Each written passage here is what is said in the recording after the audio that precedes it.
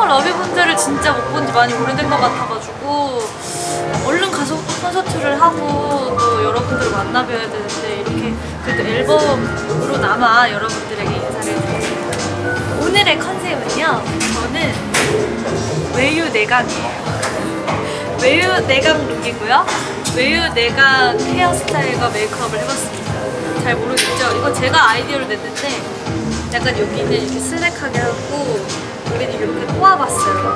앞머리가 있잖아요. 좀 다른 느낌을 내고 싶어서 이렇게 꼬아서 외유 내강 그런 룩을 해봤습니다. 어떤가요? 레더와 실크의 조화라고 할 수 있죠. 여러분 저희 저희 앨범 또 많이 많이 사랑해 주셨으면 좋겠습니다.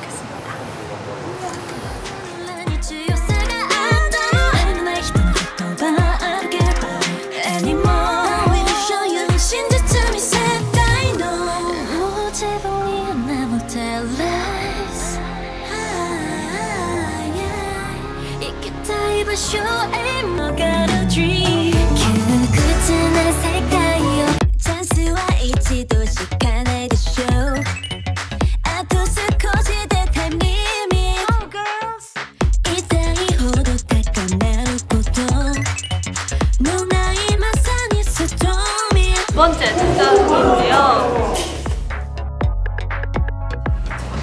메이크업인데요. 메이크업을 오히려 덜어냈어요. 첫 번째도 그렇고 요번 어, 자켓 사진은 진짜 뭐 많이 안 하고 렌즈도 안 끼고 오히려 맑은 제 눈을 그냥 제 원래 눈매를 좀 강조를 했고 오늘은 좀 이렇게 여기다 블러셔를 좀 이렇게 한 것 같아요.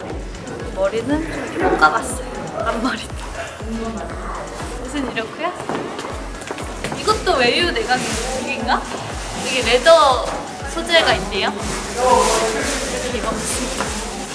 네, 우리 어, 일본에 계신 우리 러비들 어, 이번 노래도 많이 좋아해 주셨으면 좋겠고요. 저희 레드벨벳이 또 오랜만에 나오는 거니까요. 잘 듣고